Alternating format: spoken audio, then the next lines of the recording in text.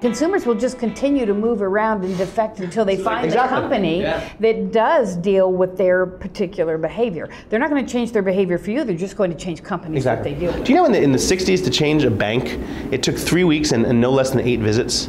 And if you were a woman, forget it, you had to bring your husband. T- today, Right. TD Bank on their ma- homepage, switch to us button. You click Uh-huh. that button, two clicks, your money's over. Pain has always been that pain of switch. Yeah. pain Change was always Yeah. a challenge with banks, and a lot of When, when I speak to business audiences, I, I have so, uh, recently I've changed my mantra from people, not consumers, to the following simple sentence: You have to understand people, and your products have to fit into people's lives. People's lives don't have to fit into your company. So you better damn well know something about people and people's lives and how they experience their life. You And know, it, it really takes a 180 degree reorientation out to the world, to people, versus just thinking about you, the company, the product, the offering. I just want to go back and say thank you for not saying a 360 degree change. Because I, I, I was at a conference yesterday or two days ago, and I said, we have to make a 360 degree. And I, I, I, I just stood up. I said, you realize that brings you right back to where you started. I was so angry.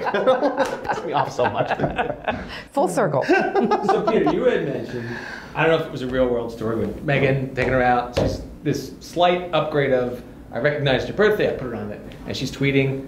So some may call that brand evangelism. Let's talk a little bit about that. Some people say that it doesn't exist except for those 1% brands, the Harleys, the Apples, the, you know, the, the, those top echelon, the BMWs and Audis. But you described, you know, not everybody in the world knows anymore. In the mid, Frankly, Joe's Steakhouse could have done the same thing. in the Midwest, there is a there is a gas station slash 7-Eleven type company called the Kum & Go. Anyone, if you ever lived in Iowa or anywhere like that, you know Kum & Go. K U M A N D G O, and their tagline is I know, I know, and their tagline is always something extra. Okay, which makes it even worse. I know. Yikes. You have never seen. They have about they have about not happy ending. 150, 150 stores Midwest. You have never seen a more loyal brand, a loyal cus- customer base than the people who go to Kum & Go. And they, they, I just got my Slurpee. I got whatever. God, I love this place. Their hot dogs. this is- It's a gas station. How do you think this? They- because every single employee is trained to be nice. They're trained to be nice. They're trained to say, "How can I help?" When you get gas, To your point, you think they were hired to be nice. yeah, well. that's what I'm sorry. I'm sorry. Yeah. I rephrased it. They were hired. They were nice, and so they were hired. They're a gas station. So whenever I talk to businesses, I have a, a sh- shameless plug. I have a book coming out in February. My, my fourth book. Uh, it's called Zombie Loyalists, and it's all about turning the customer, making the customers you have deliver the customers you want. You know, the biggest problem I see is, is companies. They, you know, we're at, we're at 9,999 followers. a 10,000 follower gets a prize. Translate that to screw you, original 9,999 followers. We don't care about you. It's like bringing the girl to the dance and, and look at a better dealer the second you get there.